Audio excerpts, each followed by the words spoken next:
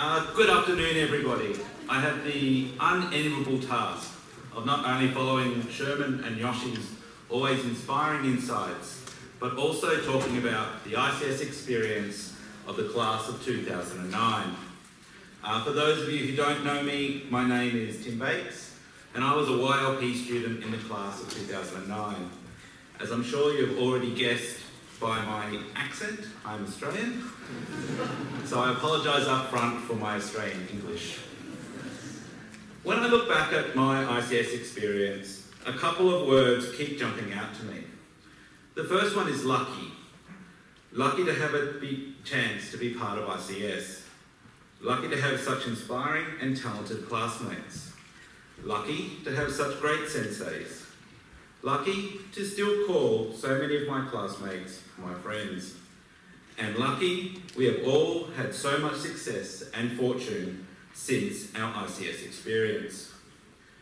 For some additional context, you'll remember that 2009 was wedged between two very significant events for the world and Japan.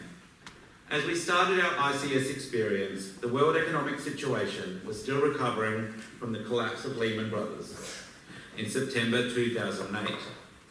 This brings me to the second key word about the class of 2009 brave.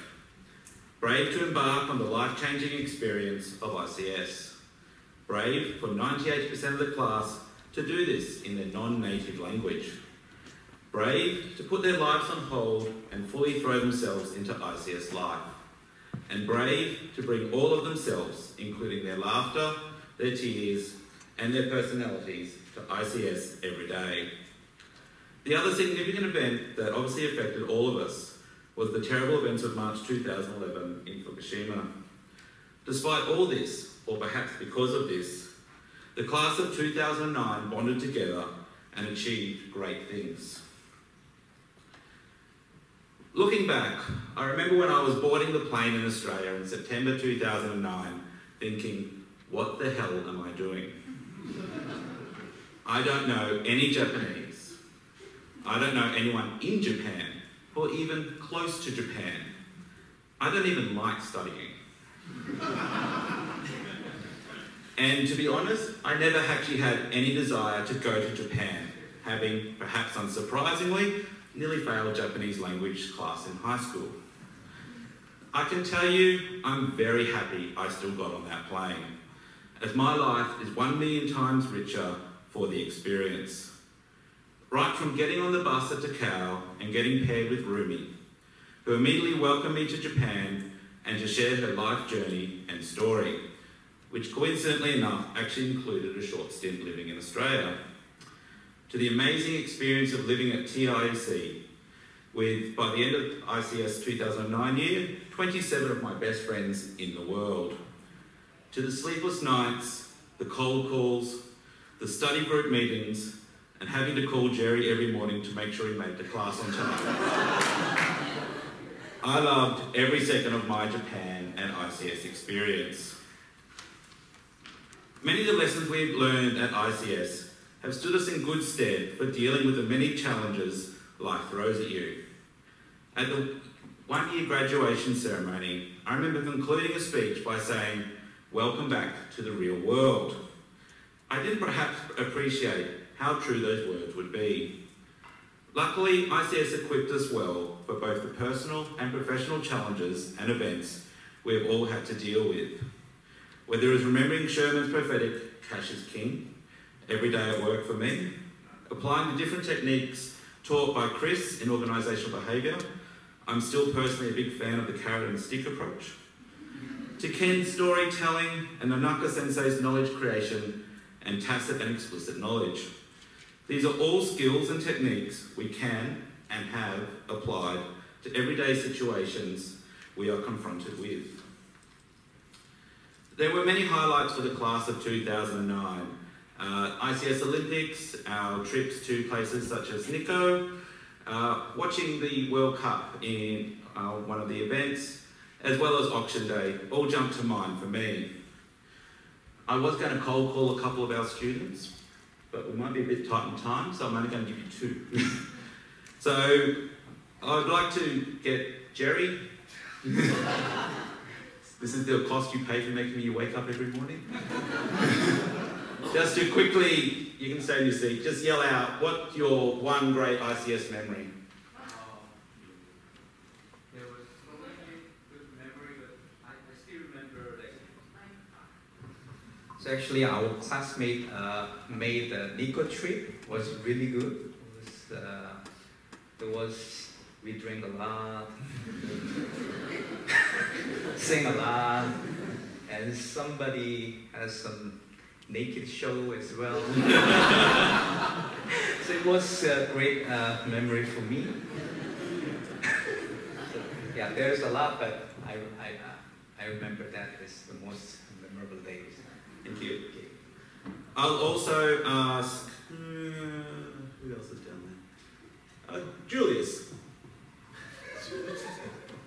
Looks like he's about to fall asleep again, so that's why My memory, mm, I think in ICS, um, every uh, teacher's class, I always can sleep very well.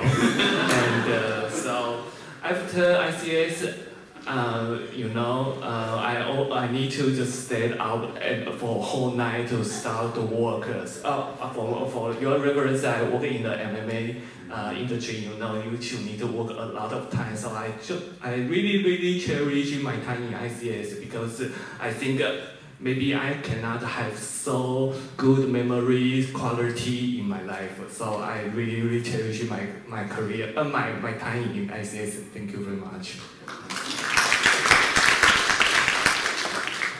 Thank you, Jerry and Julius. It is these events and experiences that bring to mind my third word for ICS, which is happy. As you have heard, ICS was special to all of us in so many varied and different ways, which is represented by that there is actually so many of us from the class of 2009 being here today.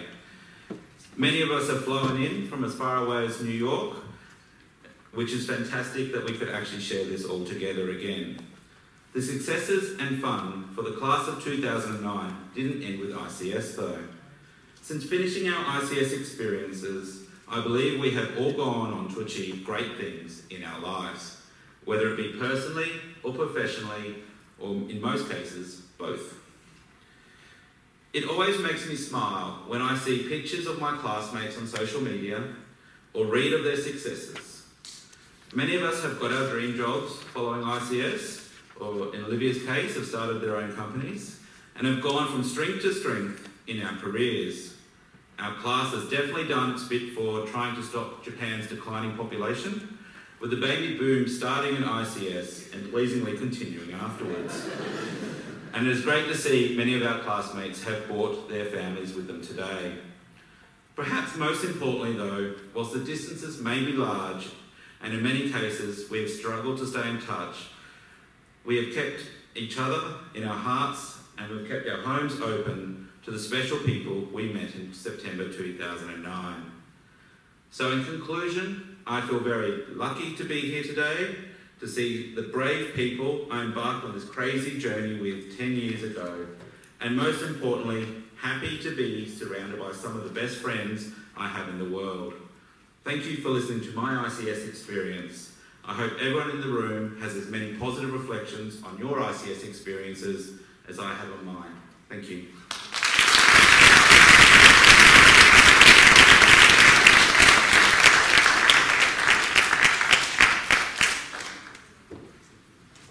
Excuse me, Tim, don't go away. Um, I have one memory about the class of 2009 that I would like to share. That at graduation, there is what is called the Dean's Award, as you know, to the student who had the highest academic record, and that student for the class of 2009 was Tim Bates. But, but most importantly, when he was given this award, if you recall, he called up every single one of his study group and he identified each of them and said, This isn't my award, it's our award. I remember that, Tim.